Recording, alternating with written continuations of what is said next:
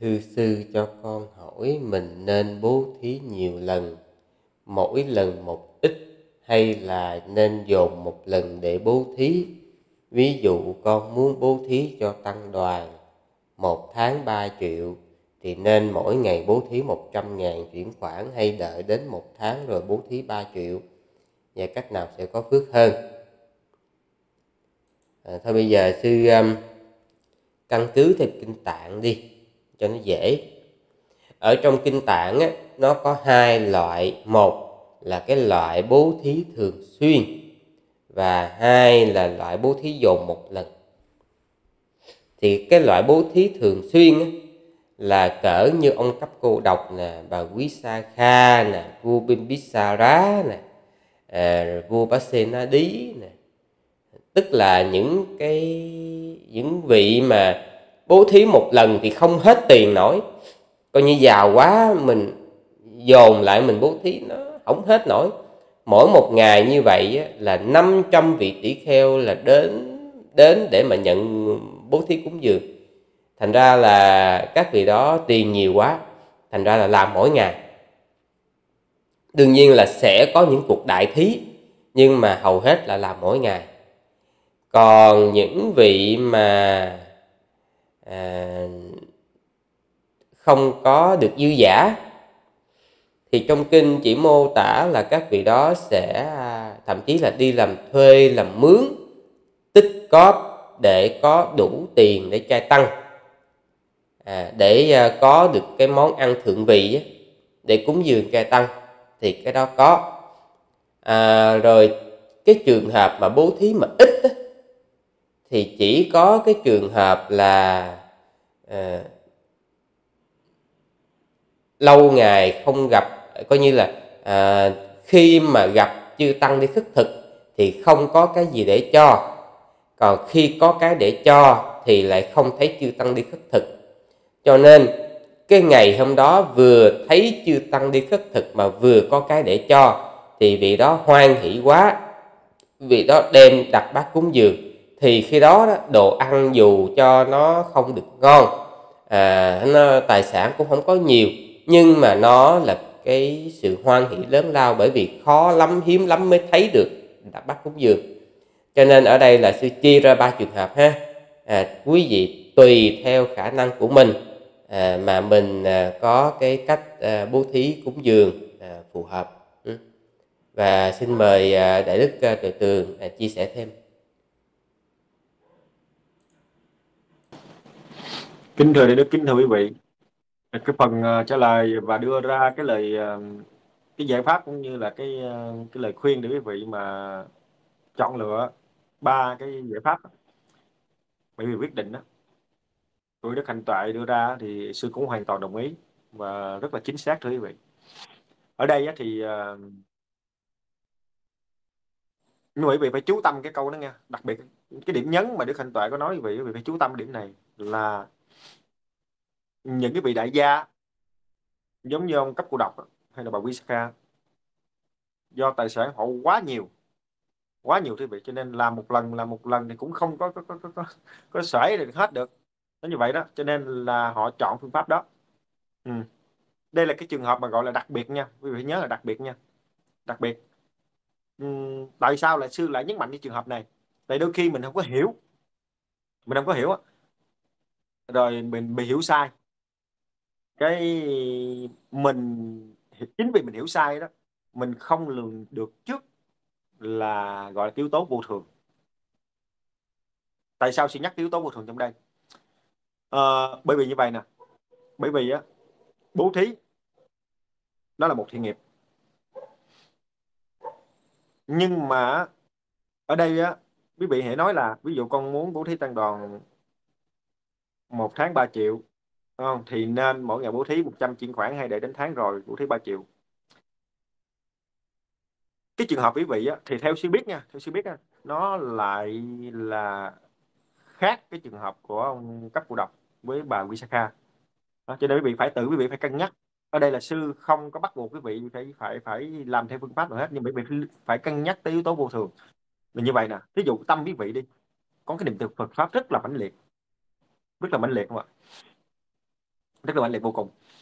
Thì quý vị muốn là cái chọn đời mình đó chọn đời mình đó thậm chí cái tài sản mình mình làm ra đều đều đều đều, đều nè mình đều đều được dân hàng tháng đều đều đều đều, đều đến chưa tăng.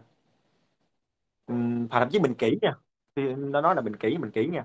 Thì cái việc đó, đó là mình ngày nào mình còn mà tồn tại thì ngày đó mình còn làm cái điều đó. Và mình cũng thậm chí mình còn dặn dặn người thân hay là mình có một cái quỹ gì đó mình gửi vào đó.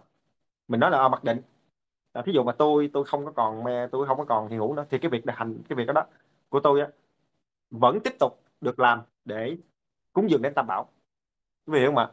Còn nếu mà mình suy nghĩ như cái trường hợp đặc biệt của ông cấp của độc của Visaka mình cho là mình làm á mình làm là như vậy mình làm có thể ngắt ngắt ra từng từng từng từng, từng đó nhưng mà mình không nghĩ yếu tố vô thường đó thì rất là tiếc thưa vị xin gọi là rất là tiếc. Bởi vì rất là tiếc sao? Lỡ may á lỡ may mình chưa có gọi là cái cái một cái một cái lời gì di chúc á không mà bản thân mình nghe bản thân mình muốn bố thí mà cho bố thí mà để cho trọn vẹn cho liên tục như vậy lỡ may cái mình bố thí giống như mình ngắt ra ở đây nói nè một trăm một trăm mày may mình gặp cái tai nạn gì đó là bị ngắt ngang đó mà không có ai không có ai trợ duyên mình không có ai một ai trợ duyên mình để làm tiếp cái thiện nghiệp đó thì nó rất là uổng thưa vị rất là uổng. mà lỡ may nha xin nói là lỡ, lỡ xui thôi lỡ xui thôi tôi dùng giờ lỡ xui mà vô ngay cái cái, cái cảnh cảnh xấu đó. đó rồi trong khi tiền bạc á, trường hợp là có những cái tiền bạc mình bỏ lại không? mặc dù nơi tâm mình lúc mình còn sống mình rất là muốn ừ, là những cái tiền bạc mình là, là hàng tháng hàng năm à, hàng ngày được đều được chi đến chi tăng. Nhưng mà nó nhưng mà do cái thiếu thiếu đi cái sự mà mình quán tưởng về sự vô thường. Đó thì đây là một điểm nghĩa là một cái, cái khía cạnh xin phân tích xin một khía cạnh để cho quý vị có cái sự linh động cái sự linh động trong cái vấn đề mà nó bố thí cúng dường làm sao cho nó hoàn hảo nó trọn vẹn nhất để quý vị luôn là một người cần sư nam cần sư nữ theo đúng tinh thần của thế tôn. Oh, dạy trong cái trong tập tạng kinh điển Bali. Ta cũng xin kết thúc phần trả lời câu hỏi này.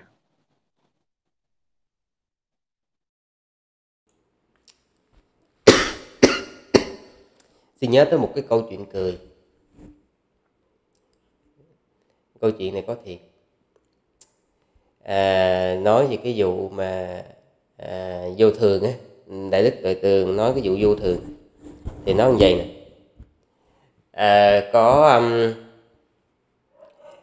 cái, cái cái cái cái cái gia đình mà có một cái gia đình cái cái tượng và tượng Phật ở thiền viện Nguyên Thủy này có câu chuyện một cái giai thoại. Ừ. Thì à, cái cách đây lâu rồi thì cái tượng Phật giác vàng á, xuống cấp. Thì à, có à, vợ chồng mà đến ờ, xin giác vàng và hòa thượng nói giác vàng là tốn bao nhiêu đó lượng vàng. Thì hai vợ chồng mới quản hồn. Thì nó là con nghĩ là nó ít thôi chứ con không nghĩ là nó nhiều tới vậy.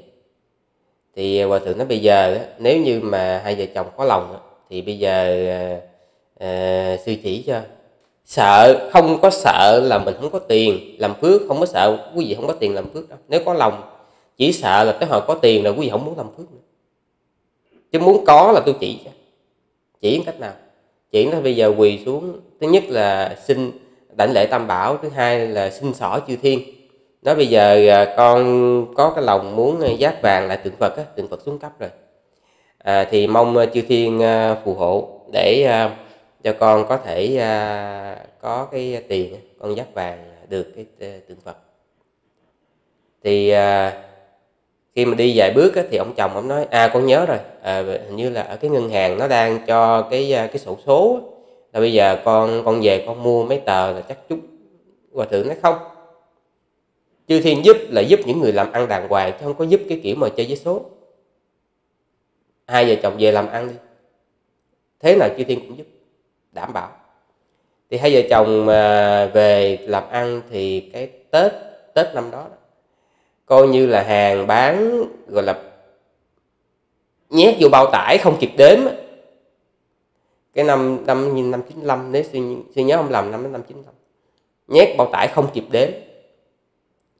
Mà coi như là tới hồi mà còn dư một kho hàng còn dư một kho hàng nha mà trả hết nợ.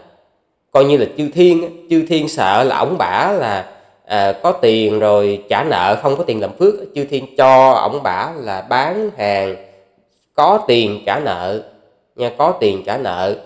À, có tiền làm phước à, giác vàng dư một đống tiền rồi thêm một kho hàng nữa. Kho hàng chưa bán xong. Là quý vị thấy chư thiên giúp kinh khủng chưa? Một đống tiền. Thì à, hai vợ chồng mới à, coi gì vô chùa thì hồi xưa hứa đó Ờ, trong năm hứa thì giờ cuối năm thì con làm ăn dư trả hết nợ dư một đống tiền. Nha. À, có tiền dắt vàng còn dư thêm một kho hàng nữa. Rồi um, thì hòa thượng lúc đó nói nói vui chưa có kinh nghiệm. Thành ra là không không nhận liền lúc đó tại nói là thôi bây giờ tôi nhận liền á bây giờ tôi đi qua đi thái đi thái một tháng mà bây giờ nhận liền mà để thì ờ, để trong chùa có khi nó, nó mất á. Cho nên thôi hai vợ chồng giữ đi rồi ờ, tôi đi thái về rồi mình làm. Và nói là nhưng mà tới hồi thời điểm đó xin thưa thời điểm đó không lấy thì thôi chứ còn chờ một tháng sau về y như rằng là đổi tâm. Cho nên đúng hồi hòa thượng hồi xưa nói đúng không sợ thiếu tiền chứ thiên là cho tiền quý vị đủ đủ để làm chỉ sợ có tiền là đổi tâm thôi. À, cho nên là nói nhớ câu chuyện cười. Không biết quý vị thấy có đáng cười hay không? À, đó rồi um, cho nên là suốt một giai đoạn rất là dài hòa thượng mang mang tay mang tiếng là uh, người ta đưa tiền mà không chịu dắt vàng. Trong khi cái tiền có cầm được đâu ta đổi tâm rồi người ta lấy tiền về. Đó thành ra là đại đức tuệ tường chia sẻ cái sự vô thường thì sư thấy cũng có lý là tại vì sư nhớ đến cái lời dạy của hòa thượng á. Thì thôi mai mốt là phật tử có ờ, cúng dường thì thôi cứ nhận đi chứ đừng có nói là thôi thôi, thôi cứ chờ chờ là chờ nó hắn đổi tâm hắn đổi tâm nhanh lắm cái tâm mình nó đổi nhanh lắm. Bây giờ hứa vậy chứ ờ, qua là nó nó đổi liền à. rồi à, kể à dạ. Dạ rồi. À, kính thưa đại đức. Um, um, cho nên á khi nãy sư quên chốt quên chốt lại lại cái câu cái câu mà đáp án cho nên là cái phần sư cái phần ờ, mà đức thanh tuệ trả lời là hoàn toàn chính xác nha. Cái đức thanh tuệ đưa ra cái ba cái ba cái giải pháp. Và sư lại phân tích một cái khía cạnh khác để mình hiểu trọn vẹn về câu này cho nên cuối cùng đó, cái câu trả lời của cho câu này á, là trả lời như vậy. Lễ vị hỏi là thưa sư cho con hỏi mình nên bố thí nhiều lần mỗi lần một ít hay là nên dồn một lần để bố thí? Thì à, tụ chung lại ba cái giải pháp của đức hạnh tuệ đưa ra và cộng thêm cái khía cạnh của sự phân tích. Thì cái câu trả lời là um, um, cũng có thể bố thí nhiều lần cũng có thể bố thí mỗi lần và cũng nên cộng dồn. Ừ. và cái việc làm đó đó cái việc làm đó đó nó nên làm như thế nào cho nó phù hợp về nên, nên làm thế nào cho nó phù hợp đó, thì từ bản thân quý vị. Nên làm như thế nào thì từ bản thân quý vị. Đúc kết lại um, cái phần trả lời của đức thanh tuệ và cái phần sư cái khía cạnh phân tích của sư. Thì quý vị là người chính là người sẽ tự là mình tự mình đó sẽ trả lời cho mình cái câu trả lời này là nên nhiều lần mỗi lần ít hay là nên cộng dồn dạ xin kết thúc cái phần trả lời câu hỏi này à, chúng ta qua câu hỏi à, tiếp theo.